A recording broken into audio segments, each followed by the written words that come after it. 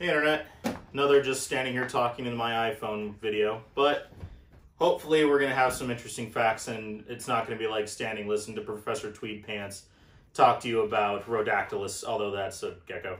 But either way, we're gonna talk today about common snake myths and misconceptions. Today we're gonna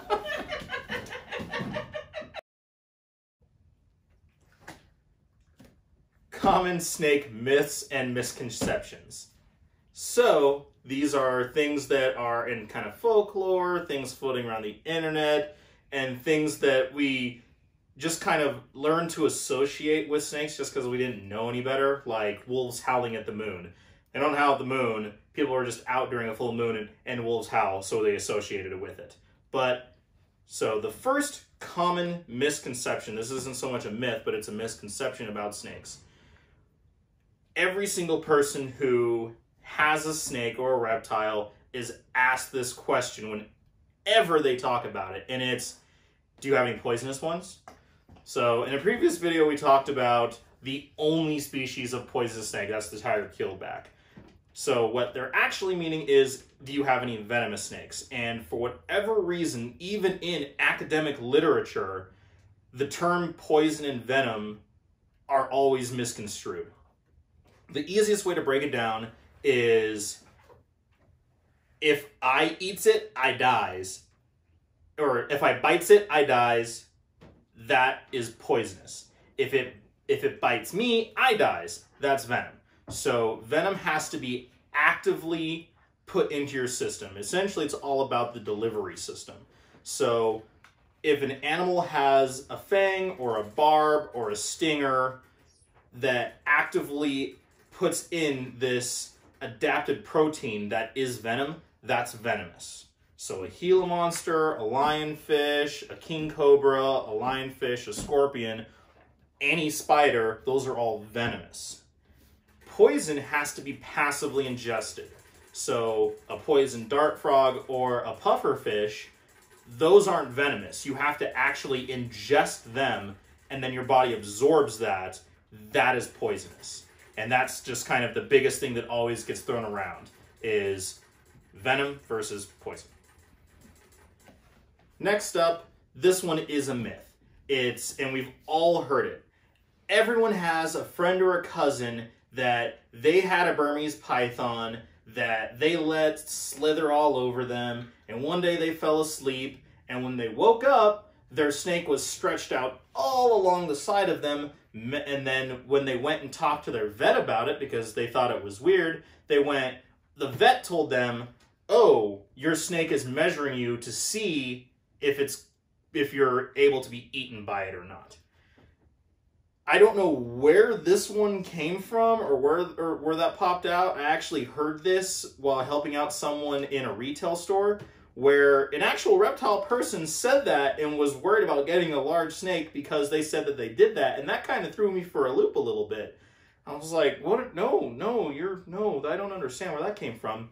So what i think so what happens is is the snake who is out in room temperature in most houses their their temps are in like you know the 60s and 70s so that's really too cold for most snake species in general. They want to get warmer.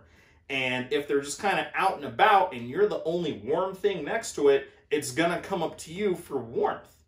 I can't think of any snake species out in the wild that, like in, in Africa, a rock python goes, oh, let's see, is this gazelle?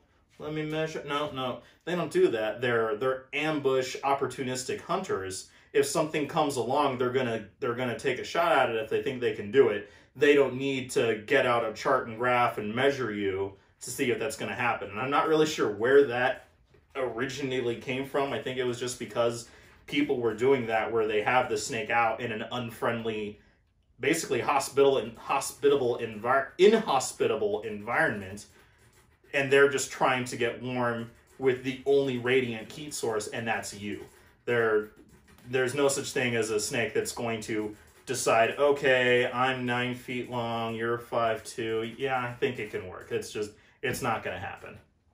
The next is uh, one that I'm actually somewhat guilty of saying as well, and that's that snakes are deaf. This one is a pretty obvious one that makes sense as to why people started saying that.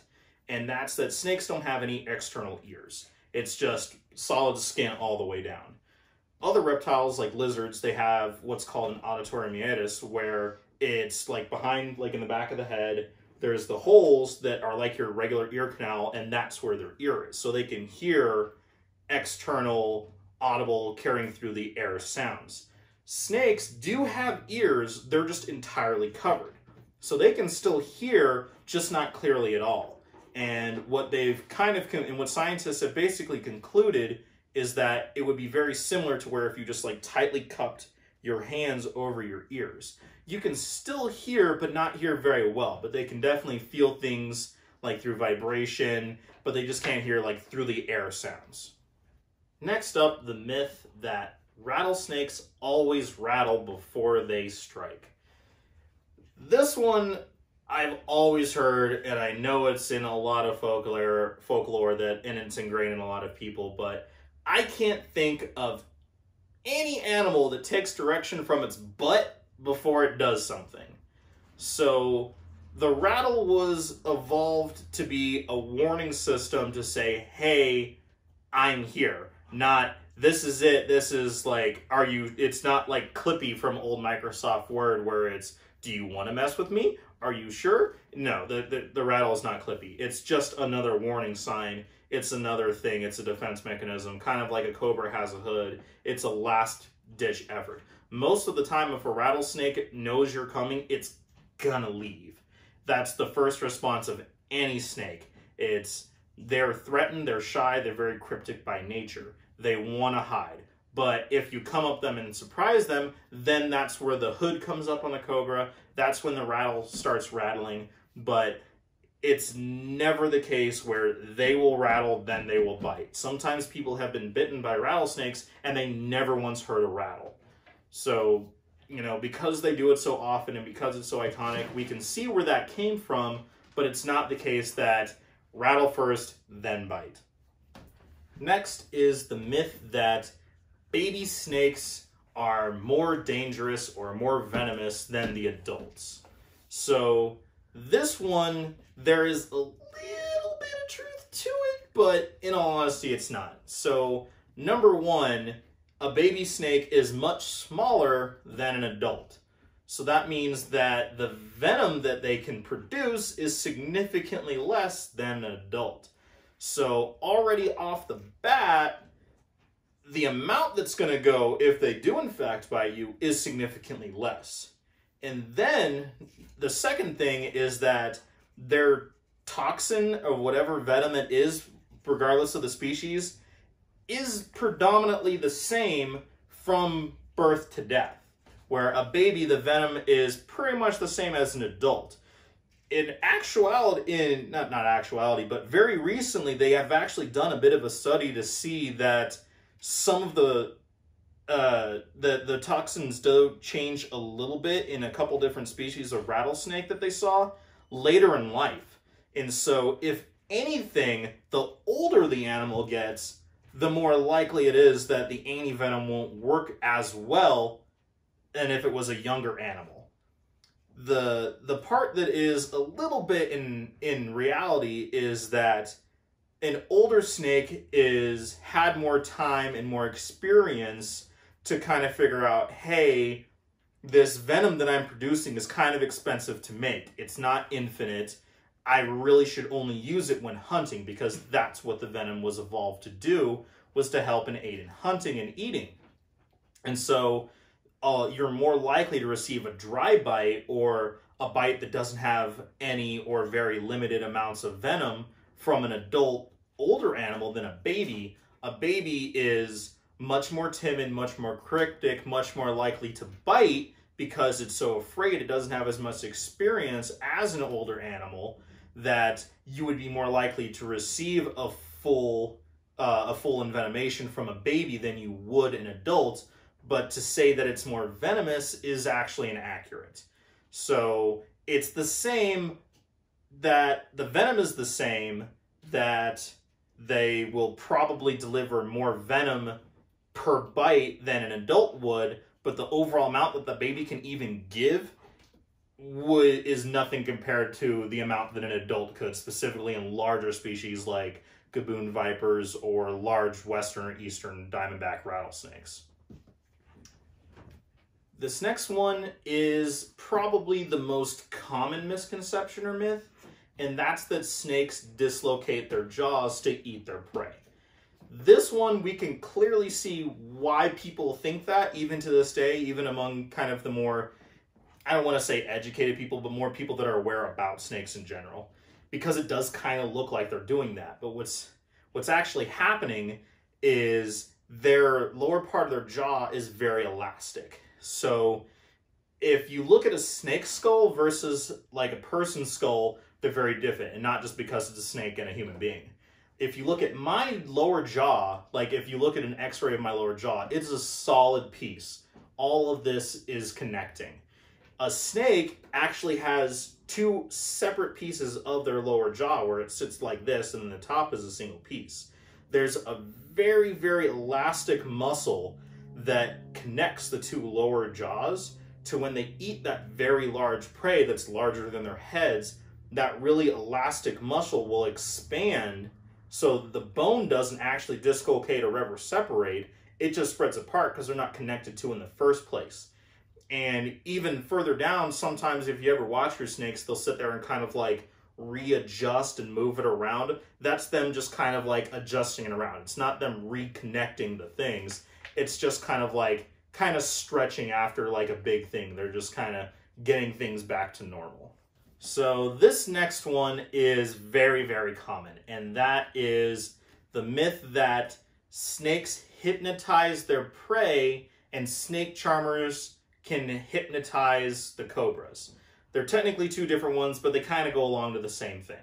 So when a snake, when, when people say that a snake is hypnotizing their prey, sometimes while watching a snake hunt, they'll kind of key on on an animal, and when they make when they visually look at the animal, the animal just kind of like holds still and then it gets grabbed. What's actually happening is that a very, very common response with all prey animals, mice to deer, is to freeze. So most of the time, the animals are trying to blend in the surroundings. That's why they have the coloration that they do, is to blend in naturally in the environment that they're in. And so when they sense, smell, see, think there's a predator around, their very first natural instinct is just to freeze and not move. Because if they freeze and they don't move, maybe they'll try to blend in and the predator will move on. So that's what's actually happening is that the prey the prey animal, mouse, rat, or whatever, you know, thinks that thinks or sees that there is a predator there, and so it freezes, trying to stay still, hoping the predator loses interest, and Unfortunately, they don't, well, not unfortunately, but that's the circle of life. It doesn't always, and that's when the snake will grab the prey item. When it comes to the snake charmer, it's, we've all seen the videos of the guy with the flute who sits there and does this and, and does the thing out of the cobra out of the basket. What that is, the cobra isn't being charmed by the music, it's not being hypnotized, it's just following the movement of the flute. That's why they have that. And so you know, it's the when the cobra pops up and it puts up its hood, that is a threat display because it is scared. It's being cor- it's cornered. There's a big monster looking at it. It's frightened. And so that's what that hood comes up. It says, "Hey, leave me alone." But when that happens, it really cues in on any movement because that is the potential threat that what it is. And so when the snake charmer is sitting there moving the flute around, that's what's moving and that's what the cobra keys in on is the movement of the flute. Nothing's actually being hypnotized as much fun as that would in fact be. So this last myth is nice voice crack jay-z is probably the most common one that we've all heard outside of like the rattlesnake thing. And that's involving the coral snake and the king snake milk snakes we've all heard the the you know there's a little rhyme to determine whether or not it's a coral snake which is north america's only elapid the venomous snake or a king snake or milk snake that looks just like it And, you know, we've all heard that red touches yellow, you're a dead fellow. Black, uh, red touches black, friend of Jack, you're okay, Jack. And what that's in terms is so that's that three color banding red, yellow, and black. For what they were implying is that with coral snakes, if it goes red touching the yellow and then a black and then red and yellow, that's the venomous coral snake. And then with king snake, if red's touching black, then it's the non-venomous colubrid. The problem with that is that that's not always the case. As we all know with our love of ball pythons and corn snakes, there is a huge variety of color patterns. And then if you get into more specifically with like localities of different animals, you know that there's a big difference of pattern even in specific localities of just regular snakes outside of the crazy morph genetics. And the reason why that's not a great way to determine whether or not it's a venomous snake or not is that there are some localities, even here in the United States, of coral snake where they're yellow or the where the red will touch black and it's still a corn snake. It not it where the red touches black and it's still the venomous coral snake. And as you move further south into Central and South America, where there are even more species of coral snakes, that entirely goes out the window. Where there are some coral snakes that don't even have yellow on them, they're just a striped red and black or orange and black. So, really, there's no 100% foolproof way to say this is a coral snake, this is a milk snake, without actually knowing what the species is and I would never, ever, ever recommend going out and picking it up and trying to figure out what it is. That being said, a coral snake is probably the last venomous species of snake that will ever bite you. But they also have stopped making a lot of anti-venom for coral snakes here in the United States. So once again, please still go out and pick up every tricolor snake that you see to figure out whether it's a scarlet king snake or an eastern coral snake. Hope you guys like this video. I know it's another one of just me standing here and yapping at my iPhone.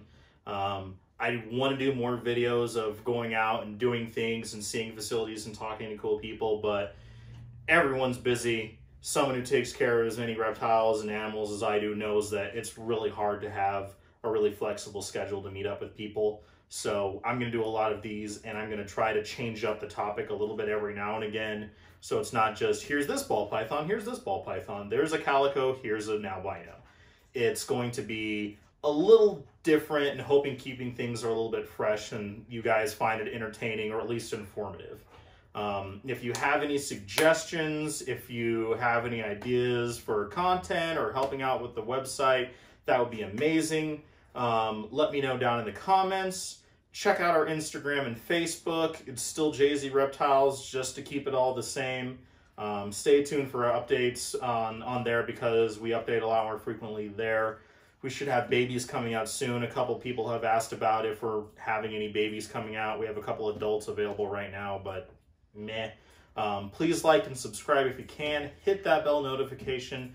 Please share your passion with your friends, whether it's about animals or whatever you're interested in. Hope you guys have a good day, and I'll catch you next time.